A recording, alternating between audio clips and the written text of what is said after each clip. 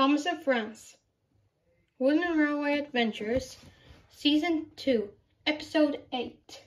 Devin takes Tony's army.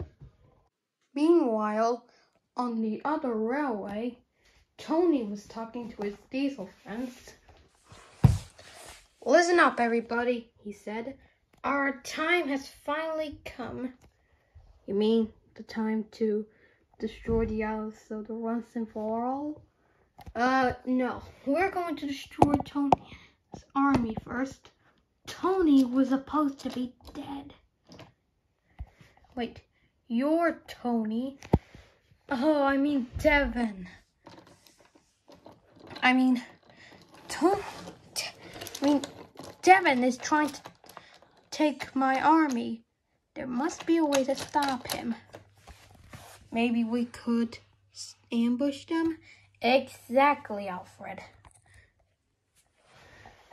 A diesel shunter named Meanie has been recruited, including the ghost train from Gargoyle's backstory. Now listen up, everybody. Here's what we're going to do. But before Tony could answer his plan, one of his diesels were suddenly attacked. Oh! Ah! The diesel knocked brick and junk off the track. Hello, Tony. Devin. I might have known you were behind this. All engines and diesels, he shouted. And trucks, attack! Are you sure about this, Tony? Sure I am, Green. Now go down there and fight. But I have a bad feeling about this. I said go down there and fight them, Grim. I'm Green, and I don't know about this. Get 'em, boys and girls. Sorry.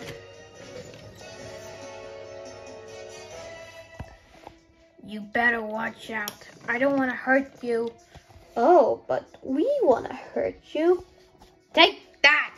Ah! What?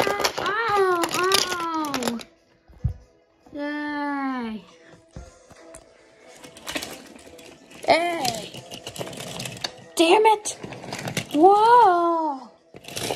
Ow! Ah!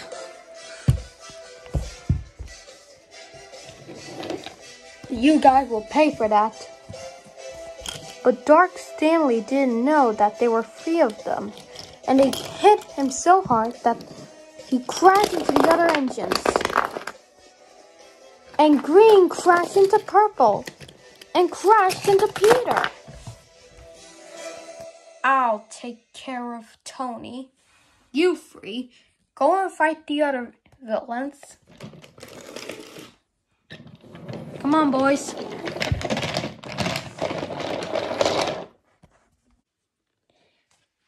Coco didn't know that Timothy, Philip, and Stanley were behind him.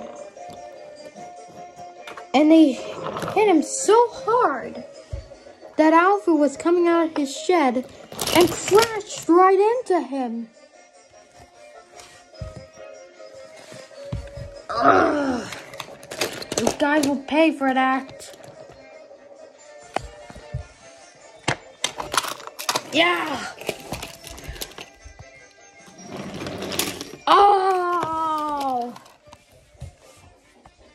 This was happening, Devin was rolling towards Tony.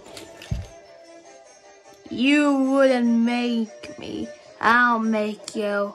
I'll push you off the bridge. Try me. But as Tony was about to push Devin off, there was trouble ahead. Ah! Oh! The bridge was wobbling. Whoa! And Devin back away. The bridge was wobbling that Devin almost was falling down to the ground. Wow! He saw the ground so much. But before Tony can answer, Devin spoke up. Tony, leader of the other diesels of the other railway, is dead. I am your new leader. That goes for you trucks, engines, and anger, and diesels. No, you can't. Ah! Ow!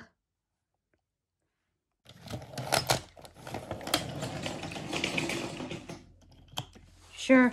Yeah. You're very maybe right. Yeah. Sure, whatever you say, new leader.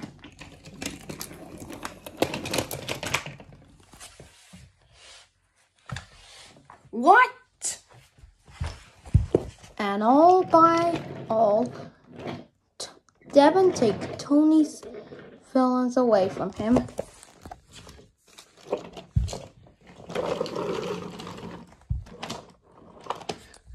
Stewie, come on.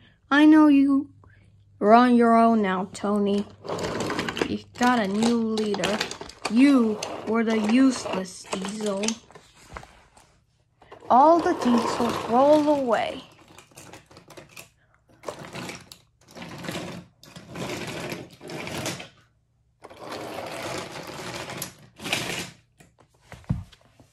Including Devin. But he had to do something first. He's gonna make the bridge collapse. Devin rolled away quickly. Soon everyone had left. Tony was all alone. Until the bridge was supposed to collapse, he saw two diesels. There was Mason and William. Mason pushed William off the track and tried to couple off couple to Tony. Mason pulled the two just in time. Then the bridge collapsed.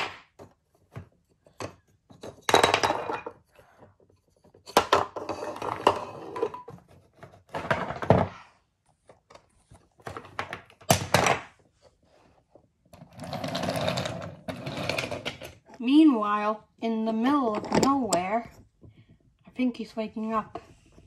Sure. Yep, he's waking up. Whoa. What just happened? Wait, I was so I thought I was supposed to be dead. We saw you falling down the ground to the molting slag, but then we decided to rescue you in a tunnel into a tunnel bridge.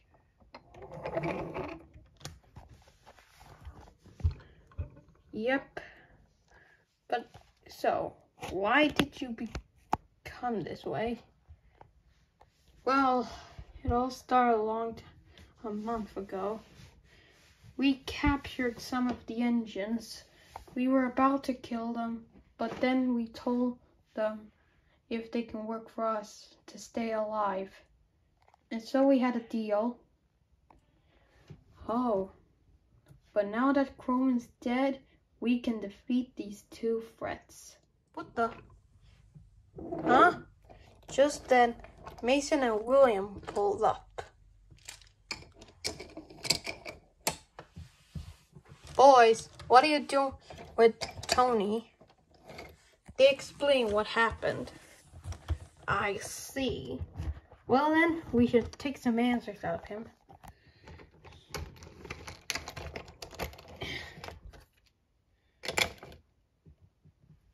Ollie and Thomas puffed sternly to Tony. Well, Tony, I guess that Devin took your army now. What do you have to say for yourself? Tony was very, very sad. it's not his fault for Devin taking his army. I think I had to agree with them, said the backwards engine.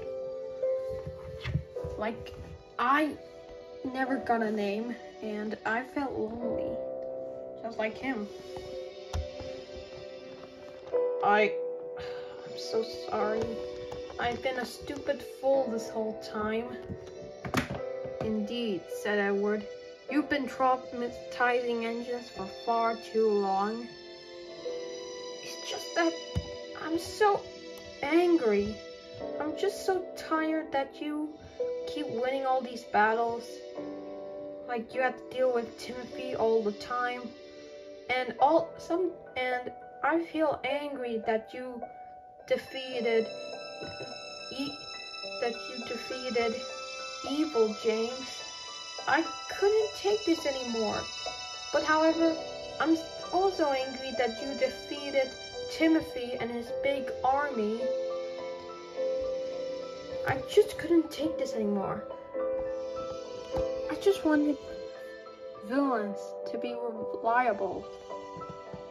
I just wanted villains to keep winning and winning all the time. So I so I pretend to be nice to engines so I can be evil. But now what I've done, I'm so sorry. I guess that you will never forgive me. We do, said Edward. You do? Do forgive me? All engines forgive the other diesels. Tony was happy. It was his first, not evil, only a happy smile. And then, with a blink of an eye, Tony's smile changed to evil to happy. Great, said Thomas. Sebastian will be happy about this.